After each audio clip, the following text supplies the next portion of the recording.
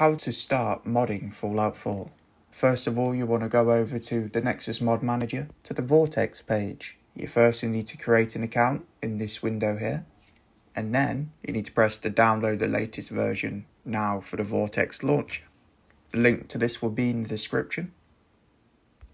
Once you've downloaded and opened the Vortex launcher, you'll now need to find the location of Fallout 4. It may already appear right here and you can just press manage, but if it doesn't, you can scan for the game at the bottom right.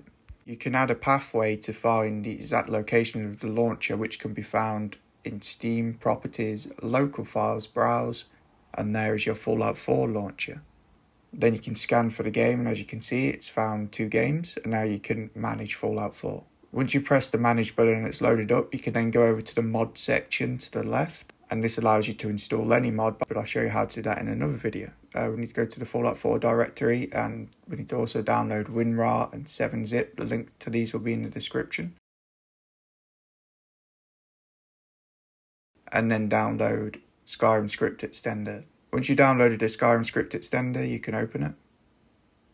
And this will autom automatically open in WinRAR and then you drag all these files within the Skyrim script extender and then you put them in the Fallout 4 directory.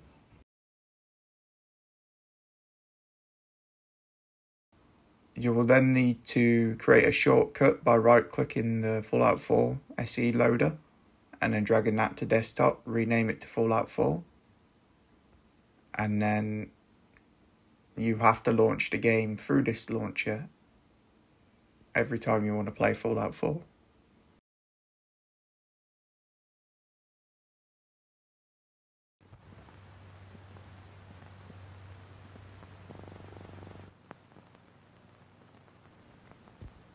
I hope you enjoyed the video and I'll see you in the next one.